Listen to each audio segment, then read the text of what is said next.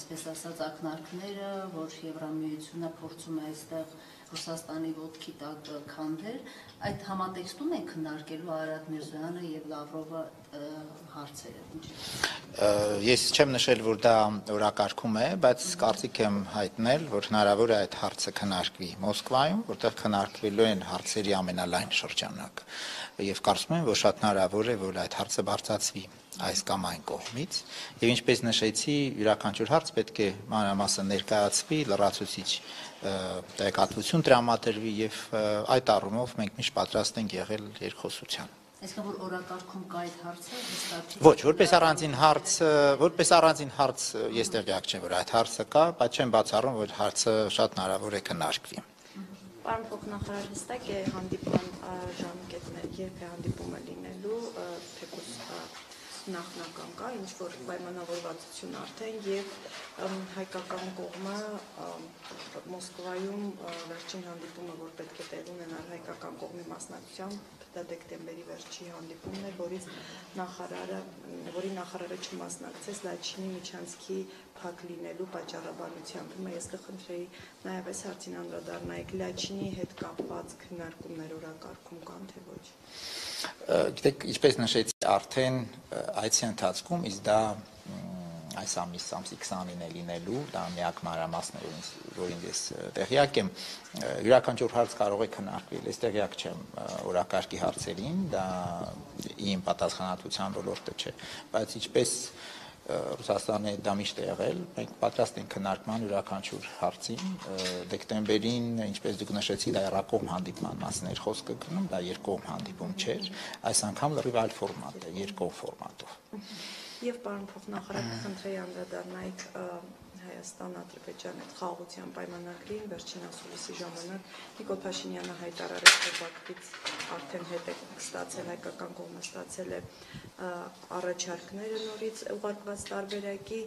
եւ Նիկոլ Փաշինյանը ասաց, որ ինչքան բանակցությունները այսպես շարունակվում են, այնքան ի հայտ են գալիս ֆունդամենտալ խնդիրներ։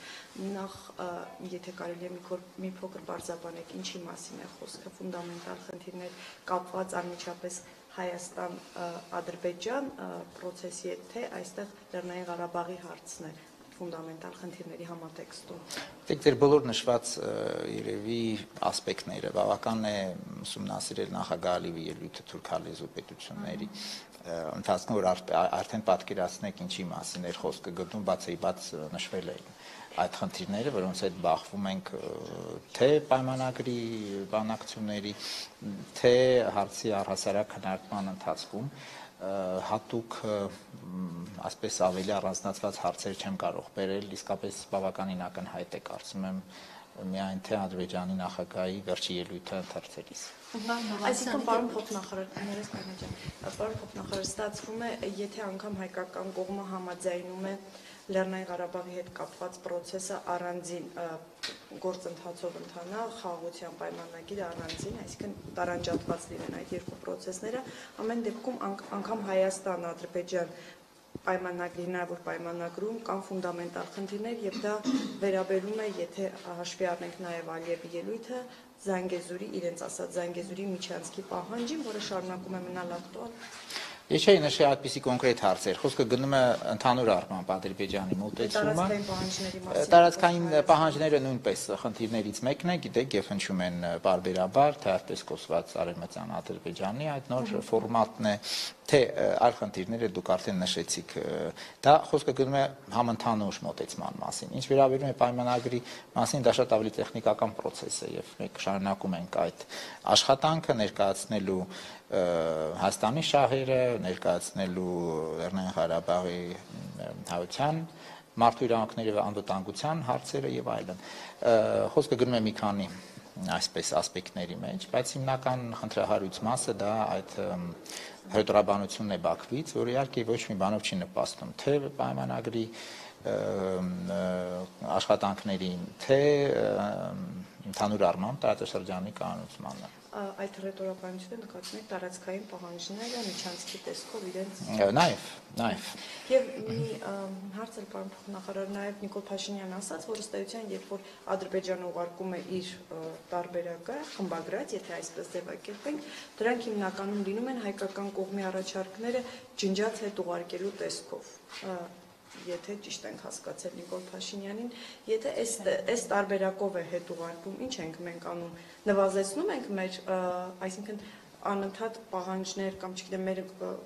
պատկերացումներում հետ նահանջ ենք անում, որպեսի բավարարվի Ալիևի պահանջները կամ Ադրբեջանը, ինչ ենք անում այդ Չէ, դե գիտեք, ինչպես եւ ամեն մի բանակցային շրջանում, յուրաքանչյուր դեպքում ոչ միայն Հայաստան, Ադրբեջան, սովորաբար ինչպես են վարվում աշխատանքները, ներկայացում է առաջարկ մի կողմից,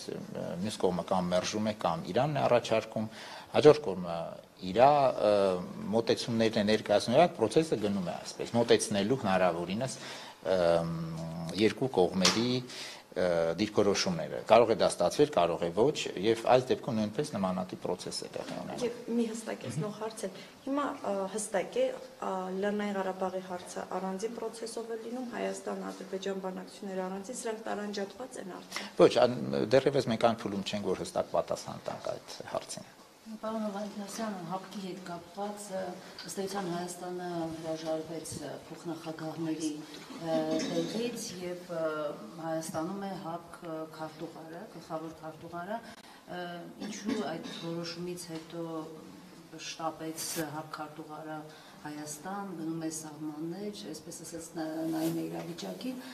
գուցե հապկը հասկացել է, որ պետք է ավելի ակտիվ լինել, աշխատել Հայաստանի հետ, ինչպես է գնահատում սա։ Դե գիտեք, սա բարբերաբար նոր գլխավոր քարտուղար է, որը սա ծրագրավորված այց էր, որը պետք էր գար ցանոթանար գործընկերների հետ, եւ ավելի շատ այդ տեսանկյունից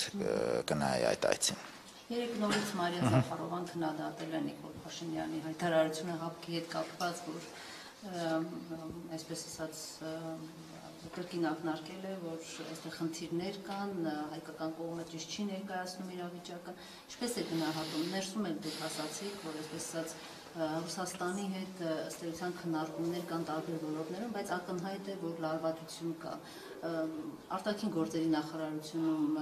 ինչ պատկերացումներ կան այդ մասով, արդյոք մեր ռազմավարական գործընկերոջ հետ իսկապես այս պահին կան լարված հարաբերություններ, թե զուտ աշխատանքային քննարկումներ են ընդհանուր այսպես անվտանգային հարցերի շուրջ Ադրբեջանի հետ բանակցությունների միջ իրավիճակ։ Ինչպես նշեցի, Ինչպես են ընդունում ընդհանրապես ակններում այդ Ռուսաստանի այդ հայտարարությունները։ Վերջի հայտարարությանը մանրամասն ծանոթ չեմ, բայց պարզապես կրկնեմ, արգործ նախարարի այս արդեն վկայությունն է, որը մետուցումն է աշխատանքային ոճով եւ հանգիստ մտնոլորտում քննարկել բոլոր ուզող հարցերը երկու կողմերի համար եւ այս այցը դրա վկայությունն է։ Կներեք, պետք է արդեն շտապեմ։ Հստակ օրակարգ, այսինքն, որ այսպես ասեն, կոնկրետ այս հարցերն են օրակարգում, Չէ, բոլոր մեր ամբողջ երկու երկրների օրակարգը, որը շատ լայն